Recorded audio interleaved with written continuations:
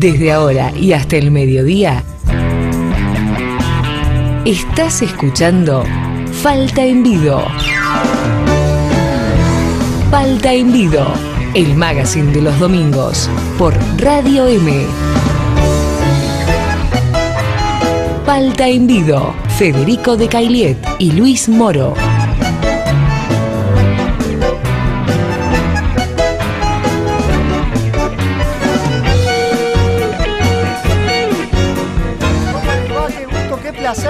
Saludarlos nuevamente en esta mañana de domingo. Llega la mañana del domingo y llega Falta en Vido. Falta en Vido, que es el magazine por tercera temporada consecutiva. Aquí nuevamente volvimos después de un descanso, descanso merecido para mi amigo Luis Alberto Moro.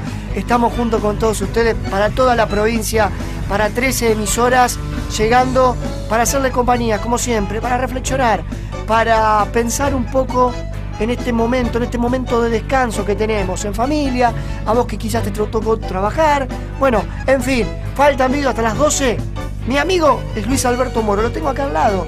Está preparado, está ahí, agazapado con el mate entre brazo y brazo. ¿Cómo andamos? ¿Cómo estás, Federico? ¿Todo bien? Gracias por, por, bueno, por compartir nuevamente este proyecto con, con la gente de Radio M, junto a la gente de Radio M que confía en este espacio y gr- gracias a toda nuestra audiencia, ¿no? Que, Sí, sí, sí, sí. que se está aprendiendo nuevamente para escuchar eh, esta propuesta que, como bien decías, intenta, bueno, debatir y reflexionar acerca de distintos temas que hacen a la vida cotidiana de todos. Estamos con Juan y Santo Pietro en los controles centrales de Radio M y vamos a ir hasta el mediodía. Hoy con un programa como siempre, con muchos temas, con muchos invitados, con muchos columnistas. En instantes vamos a tener a la diputada provincial Inés Bertero hablando de un tema que eh, afecta mucho a, a- a nuestra región, se puede Sí, decir. sí, porque el tambo, los tambos, Sí. eh, generan muchísimo trabajo, es un resorte de la economía santafesina. eh, La cuenca lechera que tenemos en la provincia de Santa Fe está afectada, sobre todo el sector tambero, y de este tema vamos a charlar junto a la diputada Inés Bertero, que integra la Comisión de Agricultura de la Cámara de Diputados de Santa Fe, porque hay distintas iniciativas legislativas para tratar de paliar la situación del sector de- del, sector tambero, perdón. En instantes estaremos hablando con nuestro amigo Poli Gomito, lo que nos va a traer lo mejor del Sonamos Latinoamérica para este año. Estaremos también con nuestra amiga Chabela Sanutic del Consorcio de la Verdecita, hablando de distintos temas. Y también tendremos una charla muy interesante que promete mucho con el ingeniero Enrique Martínez. El ingeniero Enrique Martínez, eh, ex presidente del Instituto Nacional de Tecnología Industrial, vamos a reflexionar junto a Enrique acerca de estos primeros meses del gobierno macrista. ¿eh? Una- un análisis de las distintas situaciones que nos depara este nuevo gobierno nacional. Y también estaremos hablando con el doctor Darío Montenegro en otra de las notas de hoy. Sí, vamos a hablar precisamente acerca de la relación existente entre el cambio climático y las enfermedades. ¿Cómo repercute el cambio climático en las enfermedades en nuestra región, en nuestras provincias, en el país, en Latinoamérica particularmente? El programa está presentado hasta el mediodía, programa número 69 de Falta en Vido que tiene el momento retro. El momento retro característico, con la música.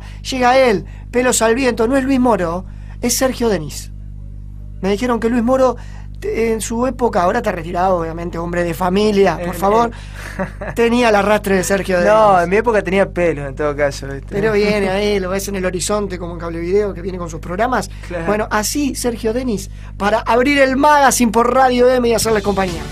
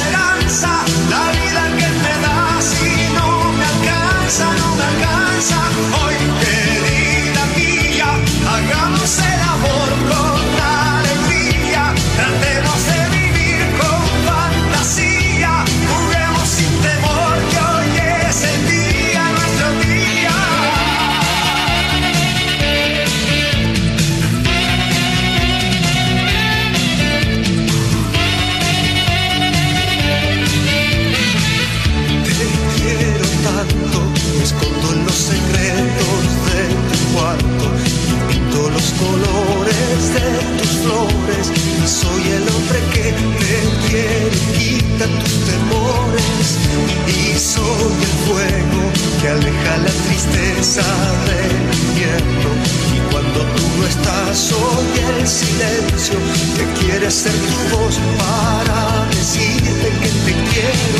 Yo soy la aventura,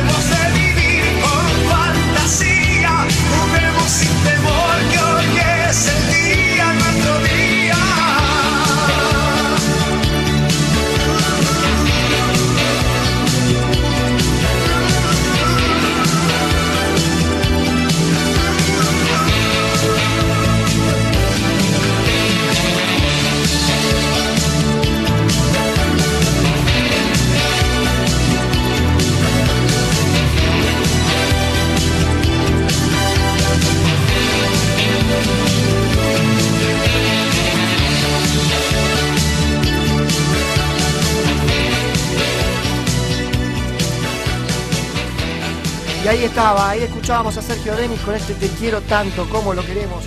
A, Falta en Vivo y cómo queremos Radio M haciendo un nuevo magazine, empezando nuestra tercera temporada.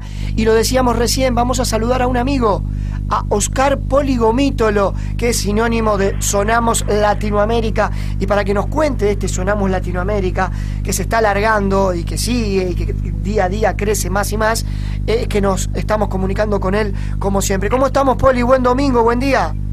Hola muchachos, ¿cómo están? Muy buen domingo, ¿cómo Bien, va todo? Poli, bien, bien, bien. Bueno, ¿qué nos depara este 2016 eh, en torno a Sonamos Latinoamérica?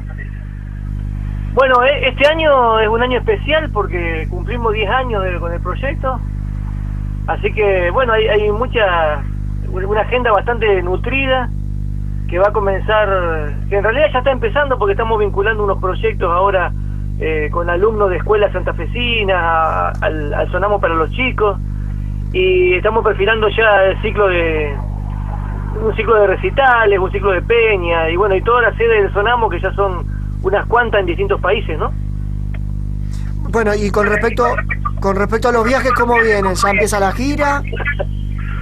Hay unos cuantos, ahora bueno, la primera sede que se arma es en, en Chile, así que después viene Perú, está México, eh, tenemos algo ahí ya cerrado para junio en Venezuela, en octubre está Colombia, tenemos el festival acá también en, en Colombia, en Argentina en octubre, y bueno, una linda punta que también surgió ahora, una posibilidad de, de hacer una sede del festival eh, por intermedio de la Secretaría de Turismo eh, en, en Canadá, así que estamos con, con una, una expectativa muy grande ahí porque nos han eh, ofrecido un espacio para, para armar una sede allá. La Secretaría de Turismo de la provincia, la nación. la- No, no, no, una, la Secretaría de Turismo de... Ay, no se me viene la... la- olvidé la ciudad de, de Canadá, pero eh, de una de las ciudades de Canadá. Claro. Así que bueno, eso es una, una, una, una linda Mirá vos cómo, ¿no? cómo se va eh, bueno, expandiendo, ¿no? Sí, Este- recordemos que el año el año pasado tuvieron una gira por, por Europa. Claro, bueno, la- las sedes en Europa son eh, ya están consolidadas, digamos, estamos básicamente trabajando en, en Bélgica eh, y bueno, y ahora se abre esta posibilidad en Montreal, o la tenían Montreal, bloqueada. Montreal. Así que bueno, Sí, acá estábamos, Montreal- acá estábamos tirando ciudades, Poli, decíamos Ottawa, claro. Quebec, ¿eh? No, no, no, yo, yo geografiando medio regular nomás. Así que bueno, bueno, es Montreal, así que es, es una linda una linda posibilidad y sumar a esta a esta idea, ¿no? Que generar redes para que estas músicas circulen, para que haya espacio para oxigenarlas, para revitalizarlas, ¿no? Así que ese es el desafío y por suerte va creciendo y va creciendo bien la cosa. ¿Eso en qué fecha más o menos estaría programado, Poli? Mira, esto est- estamos recién haciendo trámites, tratando de ubicar en la agenda. Si no es para este año, sería para principio del año que viene. Pero bueno, esto también hay que trabajarlo con tiempo porque se empiezan a involucrar varias instituciones y hay que asegurar la logística, los traslados. y toda una serie de cosas que son bastante complejas, ¿no? O sea que en este momento del año eh, eh, los encuentra, como siempre, eh, planificando lo que se viene. Me, me imagino que cada inicio de año es así como para poder determinar las fechas y, y lo que y lo que van a lo- los lugares que van a visitar. Pero también debe haber un momento eh, dedicado a la música, obviamente, a eso se dedican, ¿no? Pero de ensayo permanente. ¿Cómo cómo es que están ahora? Mirá, ahora estoy casualmente yendo a un ensayo porque tenemos, estamos grabando un disco con Mariano Rodríguez, un guitarrista santafesino también. Queremos tener el disco para octubre, así que estamos a- empezando a grabar un repertorio que trabajamos en vacaciones y que venimos trabajando del año pasado. Estamos eh, invitados a participar a, a unos a un par de festivales también que no son del Sonamo, pero que son importantes, festivales internacionales de charango, festivales de guitarra también en, en Venezuela, así que hay una extra Sonamo y como musicalmente también hay... ¿Y qué hay va a contener, eh, perdón, perdón que te interrumpa, Poli, ¿qué, qué va a contener el disco, este disco nuevo? Mira, este es un disco basado casi enteramente en repertorio propio, que tiene anclaje en los cordófonos latinoamericanos, o sea, va a tener algo de, de ronrocos, de charangos, de mandolinas, de bandola, de tiple colombiano, Eh, hacer un una pequeña búsqueda de colores ahí, ¿no? Con estos instrumentos que son tan tan lindos, ¿no? Así que trabajamos en es- con esa impronta, ¿no? Con una con algo no original, pero sí auténtico, digamos, desde la propuesta, ¿no? No sé si hay músicas originales a esta altura del partido, pero sí hacer una propuesta personal desde los arreglos, desde el tratamiento de, la- de las composiciones que estamos armando. Bueno, y hacer, y hacer esto de Santa Fe, a pesar de que, bueno, ya es una trayectoria muy larga la tuya, muy extensa, me imagino que también e- es, es particular. Sí, bueno, eh, uno, bueno, estamos enfocados en varias cosas, ¿no? Pero todas tienen que ver con lo mismo, con, con la necesidad de, de, bueno, de, de abrir puertas a, lo que uno quiere, a lo que uno, a lo que uno ama, ¿no? Que es la música latinoamericana, con todas sus acepciones, con todas sus complejidades, ¿no? Porque no, no es una cosa muy a tener así a la, a la Bartola, ¿no? Hay que estudiarla, hay que dedicarle tiempo y es algo inabarcable que es el desafío que tiene también tratar de meterse en un universo que es tan tan amplio, ¿no? Esto del disco que esto del disco Sí. que nos comentabas, ¿qué, qué tiempo lleva el tema de la, de la preproducción? No sé si, si se denomina de esa, de esa manera la, la instancia en la que te encontrás y cuándo pensás que, que puede estar el producto final. Mira, ahora estamos en el tramo de grabación, que es los registros, ¿no? Primero se, se ensaya, se terminan los arreglos.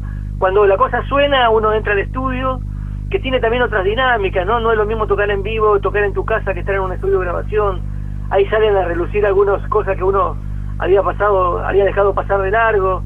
Entonces hay varios desafíos del sonido, de la técnica, de buscar un estudio que esté acorde, ¿no? A, la, a, a lo que uno busca a nivel de sonido. Hoy hay como si fuera, mm, te diría, una especie de, de mito urbano, que es que cualquier músico puede grabar un disco en su casa porque tiene su PC y un micrófono, ¿no? Y intentamos darle una vuelta de rosca a eso y que sea un- en un lugar eh, acorde, digamos, a los- al sonido que uno busca de lo técnico, ¿no? Y después de otro, bueno, depende de- del día en que uno se mete a un estudio, si anda o no iluminado para que las cosas salgan como intentamos, ¿no? Bueno. Eh, el disco intentamos que esté para octubre, eh, para poder presentarlo acá en el Sonamo de, de Argentina. Así que bueno, en eso andamos. Poli, felicitaciones por todos estos proyectos y bueno, la vamos a seguir aquí en Falta en Vido seguramente, charlando sobre la música popular, tan nuestra, tan necesaria, ¿no? Eh, la revalorización de nuestra cultura a partir de este tipo de iniciativas, así que eh, mucha, eh, mucha suerte en todos estos proyectos, Poli. Bueno, y eh, también anunciarle que en mayo vamos a tener de gira por acá a un trío que eh, hace- está residiendo en Bélgica hace aproximadamente dos o tres décadas. Esos son oriundos de México y van a venir a dar unas charlas y unos conciertos para escuelas, para hacer recitales didácticos para las escuelas de la región. Así que después lo vamos a tener atentos a eso, que va a ser una programación de lujo, porque es gente que tiene una trayectoria enorme, que han tocado en los mejores escenarios del mundo, así que van a estar acá en Santa Fe, ¿no? Ofreciendo lo que hacen. Y vamos a estar hablando seguramente al respecto de eso, Poli. Eh, tu próxima, tu próxima escala a futuro, ¿dónde es? Y el próximo viaje se, se viene para Chile. Así que Ahí vamos está. a estar. ¿Y eso en- cuándo? En, en mayo. Bien, uno, ¿sabe por qué pregunta? No, no- no es que, que me visto de policía, nada por el estilo, ¿no? Eh, no lo estoy controlando, sino que uno no sabe dónde está Poli cuando uno lo llama para, para, para el espacio acá en Falta en Video. Bueno, ya sabemos que en mayo va a estar en Chile, ahí está. Sí, avisa si no lo llamamos nosotros, no hay problema. No hay problema. no hay Abrazo, problema. Poli, abrazo. Abrazo grande y buen bueno, domingo. querido, gracias, che, que la pasen lindo. Ahí estaba, Oscar Poli Gomítolo, este gran músico santafesino, también contándonos de sus proyectos personales, particulares y también lo que es el Sonamo Latinoamérica cumpliendo 10 años en este 2016. Esto es Falta en Vido, estamos arrancando el primer programa de la tercera temporada con mucho más.